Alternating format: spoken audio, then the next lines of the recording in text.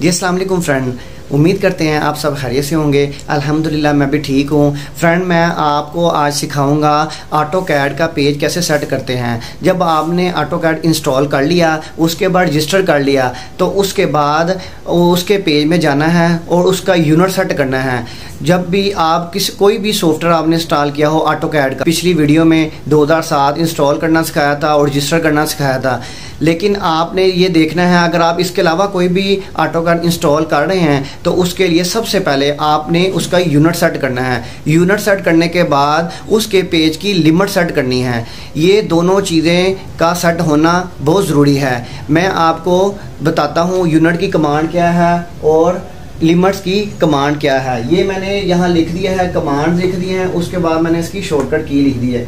Command unit की command ये है यूनिट पूरा हम लिखेंगे यूनिट उसकी शॉर्टकट की है जो हम यू एन ये एंटर के लिए मैं ये यूज़ करूँगा।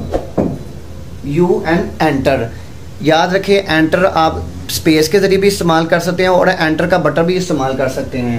ये देख लें यूनिट की शॉर्टकट की है यू एन एंटर जब मैं आपको ये प्रैक्टिकली भी करके दिखाऊँगा, लेकिन मैं फ़िलहाल आपको दिखा रहा हूँ ताकि आप स्टेप बाय स्टेप एक एक कमांड अपने पास नोट कर ले ताकि इंसान भूल जाता है। सबसे पहली जो कमांड है यूनिट की हम लगाएँगे, उसके बाद लिमिट की कमांड ये लिखी हुई है लिमिट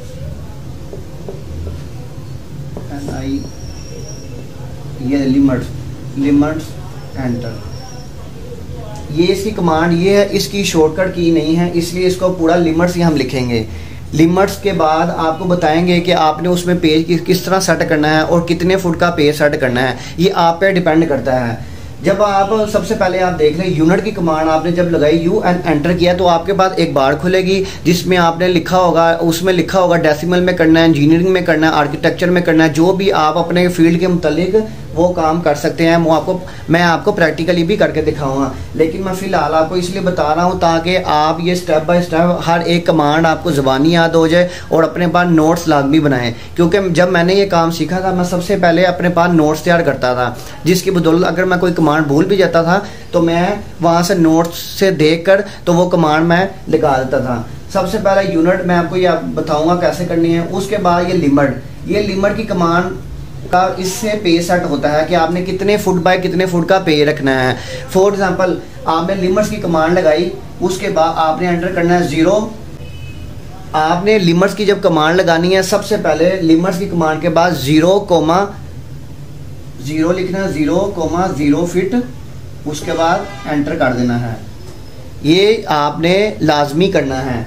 लिमिट्स की कमांड लगाने के बाद zero comma zero fit enter उसके बाद मेन चीज़ आपकी आती है, आपने अपना पे कितने फुट का सेट करना है? अगर आपकी ड्राइंग सौ फुट की है तो आप कोशिश करें डेढ़ सौ फिट का पे सेट करें। मैं अब एक मिसाल है, मैंने डेढ़ सौ फिट का पे सेट करना है, डेढ़ सौ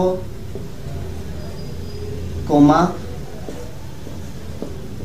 डेढ़ सौ फिट एंटर ये आप याद रखें।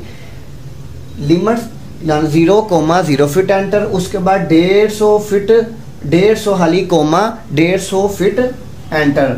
ये आपका पेज पूरा सेट हो जाएगा। अब आपको कैसे पता चलेगा कि आपका पेज सेट हो, होता है? तो आप दोबारा लिमिट की कमांड लगा कर दोबारा करेंगे तो जब आप देखेंगे नीचे एक बार चल चलती आएगी लैपटॉप के नीचे आप देखेंगे उस बार में लिखा होगा कि आपका डेढ़ सौ फिट पे पेज सेट हो गया है। तो उसके बाद आपने जेड एंटर उसके बाद ये ए एंटर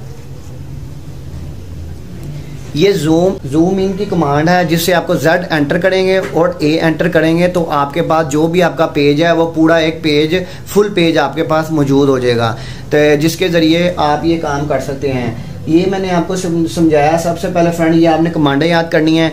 अब अब अब आके मैंने आपको मैनुअल ये चीज़ बताई है सारी जो भी मैंने किया मैनुअल अब चलते हैं अपनी लैपटॉप की स्क्रीन की तरफ़, जिसमें आपको मैं ये एक एक चीज़ करके दिखाऊँगा जो मैंने आपको ये बताई है।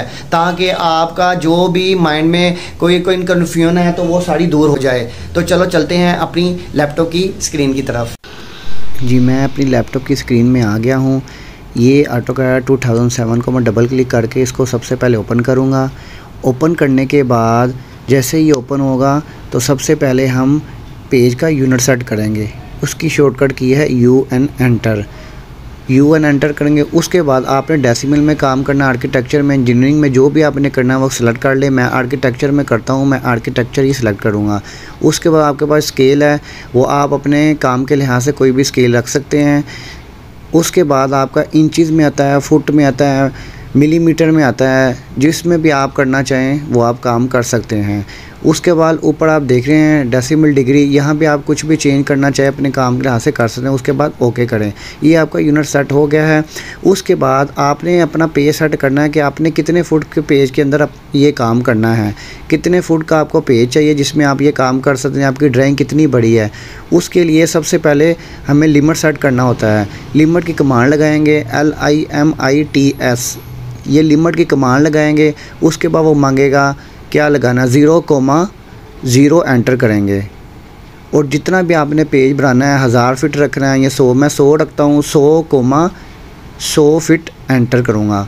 तो ये हमारा सौ फिट एंटर।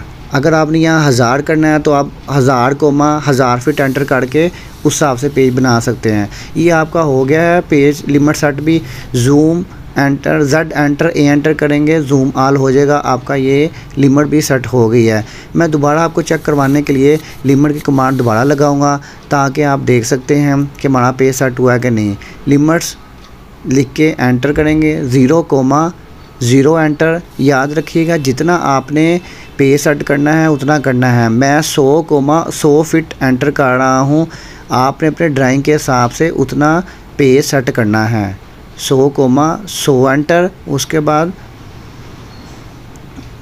नीचे आपके पास बार है, वहाँ लिखा आ जाएगा कि आपका ये पेज सेट हो चुका है सौ फिट के अंदर अंदर।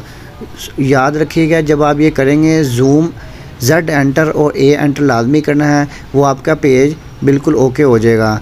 उसके बाद आपने ये शुरू कर लिया। आपने ये काम करने के बाद मज़ीद इसके आगे सेटिंग होती हैं। वो मैं आपको इन ताला नेक्स्ट वीडियो में सिखाऊँगा कि इसकी मज़ीद आगे क्या सेटिंग आपने करनी है और कैसे मज़ीद आगे आपने काम शुरू करना है।